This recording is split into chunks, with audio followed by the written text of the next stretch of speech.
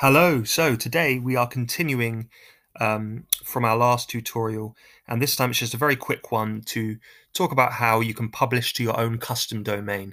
So last time we were using the other site, the Open Productions example kind of site that I used. Um, today, this is just another of our projects here. Um, from our dashboard, I've just clicked through to the website. This is this one is growthlessons.co. Um, we're now going to go and just click the publish site button at the top. Scroll over to the left bar here and you'll see um, that this is what we saw before. So you put your title in, your description of your website. And before what we did is we clicked here and we used a carrd.carrd.co URL, which is their own free one. And you can choose it there. However, when you want to upgrade and, and really publish your site in a professional way, you can go to use a custom domain. And you will need a pro card account for that before we go on to talk about this and putting in the A records, you actually need to have your domain. So just um, a quick review of that. If you go over to a website such as namecheap.com or Porkbun, I also use. It's good. It's very cheap.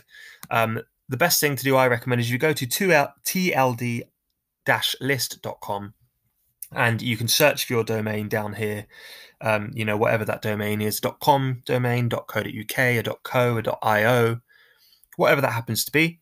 And you can search and basically compare prices on all the different sites. So you can see Porkbun here have a current .com promotion, which is pretty good. Whatever service it is you decide to go with, um, for this one we went for Namecheap.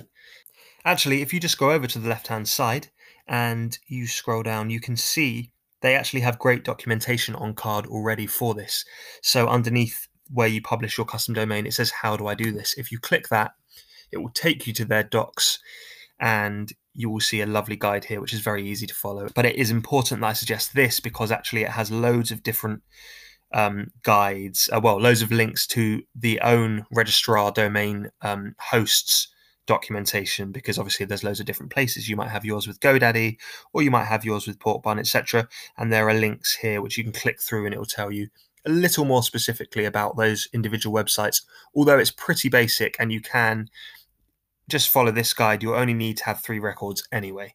So we go over to our Namecheap and we click on our domain that we've registered, which is growthlessons.co down here.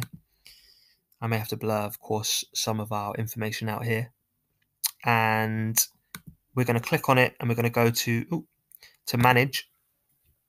And we're going to click advanced DNS over on the right hand side.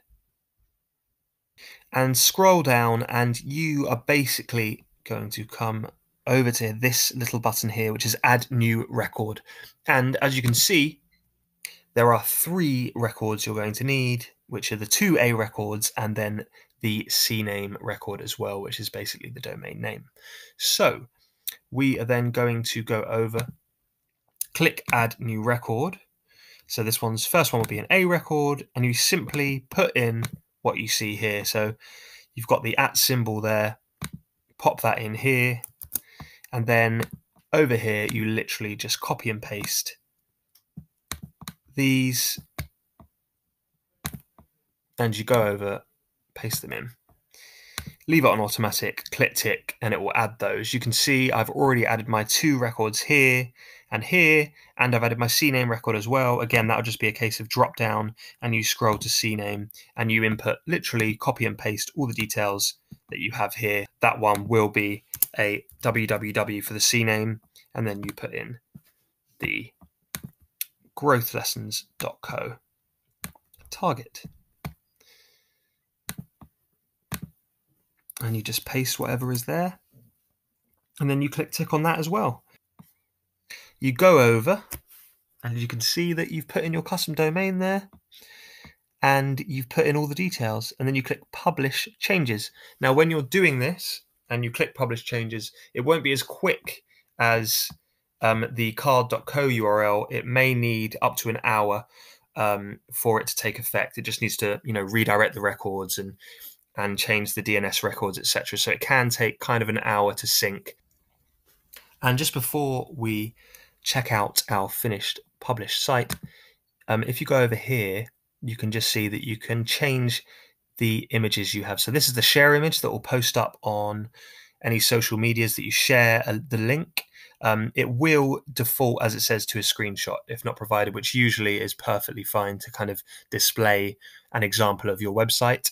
But if you want it to be more specific, for example, the page width is slightly larger for this. So what we've done is we've just created an image specifically of this middle bit here. Um, you can do that, or you can choose a photo, whatever you'd like to um, have your share image as, and of course your favicon down here, and that will basically be the little thing, the little icon that comes up, usually somewhere around here in your browser or um, in your bookmarks, and you can choose that image as well and upload that. So here we are, your custom domain name up there and your beautiful Carrd site, and that's done. If you actually go over um, back here, you can see that this will be whatever your preference is. So if you prefer the website to look www.growthlessons.co and someone types in growthlessons.co, it will actually correct it to www. at the beginning. Just kind of depends on what you prefer. I think the current trend seems to be purely the domain dot .co, com, or whatever it is. Um, so we've got that preference there. So if you see, if I do go to www. dot and press enter, it will load it back to growthlessons.co. Thank you so much. Hope you found this tutorial nice and quick and easy to follow.